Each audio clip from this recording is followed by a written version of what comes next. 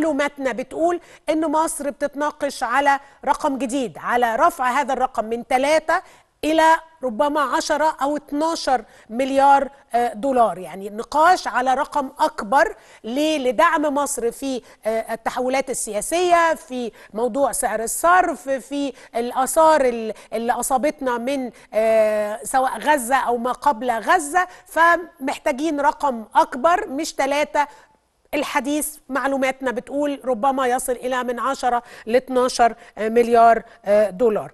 طيب إذا هي بتتكلم على التضخم بتتكلم لسه على مرونة سعر الصرف ودي نقطتين أساسيتين. إذا ربما نرى سياسات نقدية أكثر تشددا في الاجتماع القادم. أهم حاجة بقى في هذه القصة وأنا الحقيقة قريت مقال مهم للدكتور زياد بهاء الدين في هذا الإطار هو إنه طبعا قرارات المؤسسات الدولية هي قرارات صحيح اقتصادية وصحيح تقوم على الكفاءات الاقتصادية وغيرها والبرامج.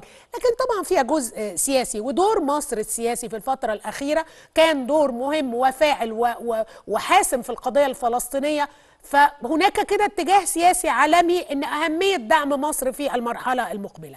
الأهم هنا إنه إذا تم وده كلام للدكتور زياد الحقيقة إنه إذا تم رفع قيمة القرض ده إنه ناخد هذه الأموال لا نعتبرها مسكنا للآلام الحالية ولكن نستخدمها في أمور تدعم الاقتصاد للانطلاقة أفضل سواء في الاستثمار أو في الصناعة أو في الصناعات الصغيرة والمتوسطة. وأنا بتفق تماما مع هذه الرؤية. مش عايزين أي مكان القرض الدعم. طبعا ده قرض جديد.